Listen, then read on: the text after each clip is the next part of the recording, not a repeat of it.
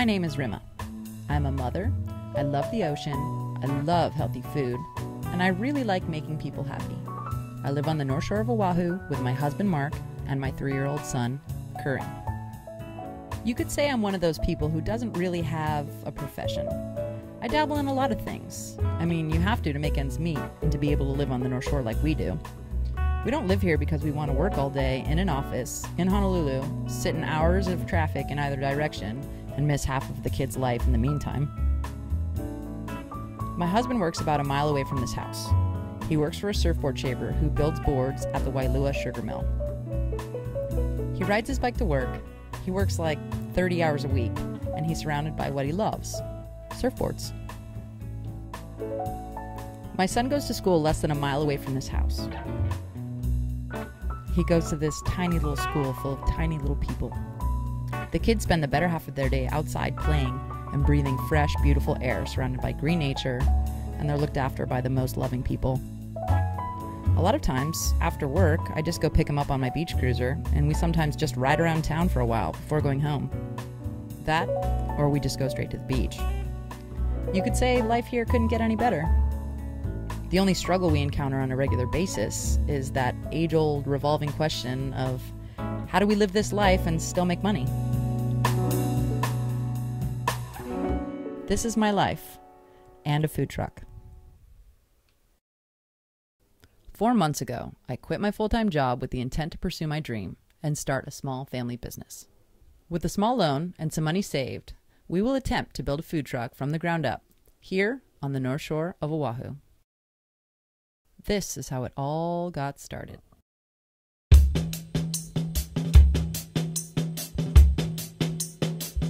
I moved to Hawaii about eight years ago. I showed up.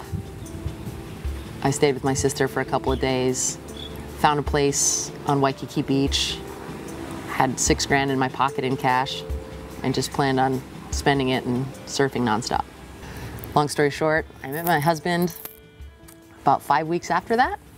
So I decided to shack up here on the islands. We lived in Waikiki for those first few years, and we had my son. My name is Curran Kale Salick. I keep my mom awake all night, even though for like a week I was a big boy and slept through the night. Last night I decided to be a fussy pants and keep her awake all night. So it's kind of where I'm at right now. Um, sometimes I'm a really good baby, especially when other people are around, and then behind closed doors, I secretly um, am maybe Dr. not, Evil. Yeah, I'm not such a big baby.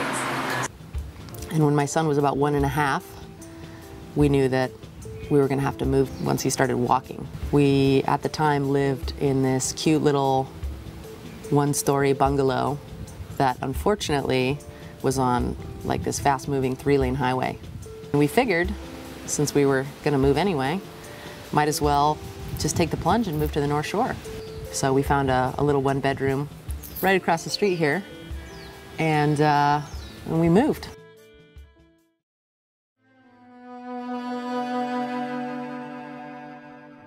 North Shore wasn't that easy. It was actually a struggle for me because at that time my husband had to quit his job because he was working in town and there was no way he was going to commute. I decided to take on the responsibility of bearing the weight of paying the bills for the entire household. At the time, I had been working in action sports broadcasting, which is a really cool job. I really enjoyed the arena at which I was working in and felt really satisfied by what I was doing. As soon as we moved to the North Shore, I kind of put on a new hat and started taking on more responsibility. That just added a lot more stress to my plate, and uh, I kind of got into this spiral of unhappiness where I was stressed out because I had to pay the bills. I was taking on more responsibility that maybe I didn't necessarily want, um, but just doing it anyway because I knew I had to. Then kind of being secretly miserable inside. Two days before Christmas, I was working on Excel spreadsheets at my house late at night before my family was getting ready to go on a little staycation in Waikiki. And it was at that moment I genuinely reaffirmed to myself I didn't want to be doing accounting. I didn't want to be entering invoices and I didn't want to be working with Excel. I found through that process that I really wasn't capitalizing on my strengths. I'm creative, artistic, pretty good with people. I wasn't really spending that much time doing those things. I'd kind of shifted my role into doing more administrative stuff. And as much as it was a great experience, uh, through the process I realized it wasn't for me. So after that Christmas realization, I was pretty much ready to make a massive change in my life. And I decided that if I was going to do something, I was going to do something so drastic, something that would take me out of it to where I couldn't go back even if I wanted to. So that's when I dreamed up the scheme of doing the coffee truck. So after February, I just made up my mind. I called up my husband one day, I was in the car, and I just told him, I'm going to start a coffee truck. And he was supportive. It's kind of how the whole thing got up and rolling. Once we had decided that that's what we were going to do, we started shopping on Craigslist. Pretty quickly, we found this beautiful gem right behind me here. It was located in Compton, of all places, and it was formerly an ice cream truck. So it was like listed for 2,700 bucks. And I convinced my brother and my mother's husband to go to Compton and pick it up for me and get it to the port to ship it over to Hawaii. So like $5,000 later, we have this coffee truck that came straight out of Compton and it was covered in yellow and green and blue paint. And there was this crazy face on the back that was holding an ice cream cone and it was called Chopsicles Popsicles. But it was cute. Next step was to sandblast it and get the paint off of it. So we commissioned a guy to come over and bring his sandblasting rig right here in our driveway and uh, just hammer away with tons and tons of gnarly sand. And that lasted for about 20 minutes. We got shut down. The cops came and told us we couldn't do it because it was just too loud.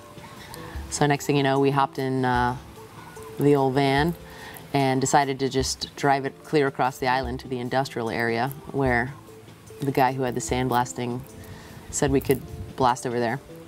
Next thing you know, I'm driving this ice cream truck that is unregistered, doesn't have Hawaii plates, uninsured, and as far as I'm concerned, probably not extremely roadworthy. Definitively, it did not have working windshield wipers, and not to mention that there's bullet holes in the glass. It was one of the sketchier experiences of uh, my Hawaiian life. Uh, but we made it, and the guy stripped all the paint off, and along with the paint, a lot of the body came off too. There's a bunch of holes in it now. You know, after the experience, hindsight is 2020. Looking back, I don't think I would have done that. I had no idea that sandblasting was gonna just annihilate the body of the truck as much as it did. I'd say that that was a little bit disappointing and quite a bit of an oversight, but we were still willing to work with it and keep moving. Once we brought it back here, the next step was to just continue working on the build out of the truck. But my husband was offered a full-time job working with a great surfboard shaper just down the street, not even a mile away. So he had to say yes, of course. I mean, at the time, you know, I'm tra transitioning out of my work and trying to work on this thing and free up my time. It just made sense for us to say yes to him getting more full-time work. So, along with him taking this job, went my free labor and my assistance with building this truck. Still, I had been spending my time procuring more equipment. We had gotten ourselves a coffee machine, this amazing La Marzocco. We found Vitamixes, got ourselves some generators, got myself uh, approved and certified to safely handle food, built a website, did a bunch of stuff, but I didn't do anything on the truck.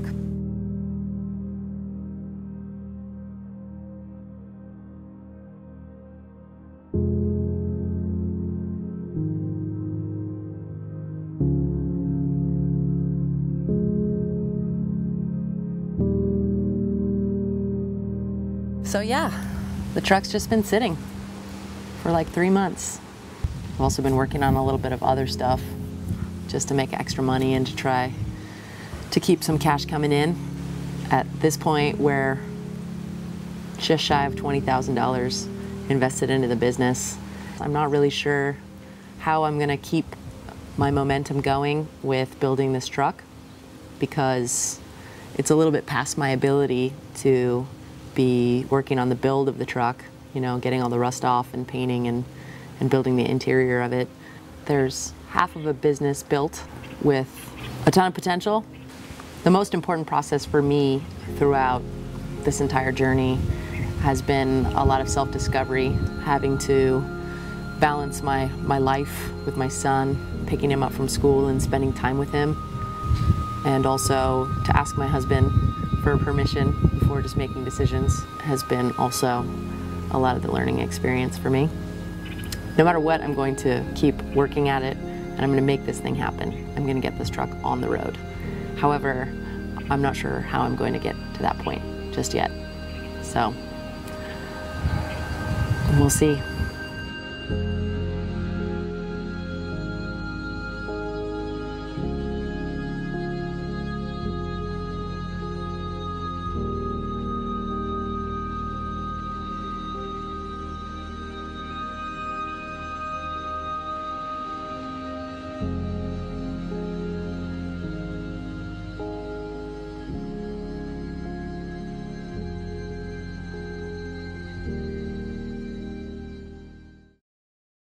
On the next episode of My Life in a Food Truck, we say out with the old and in with the new. Mark has to drive out to the sketchy part of town to make a cash deal for a different truck that might just not be worth the asking price. We put the old truck up for sale with the hopes of recouping at least some of our initial investment. And I continue the hunt for equipment that isn't going to make us broke. Stay tuned for episode two of My Life and a Food Truck.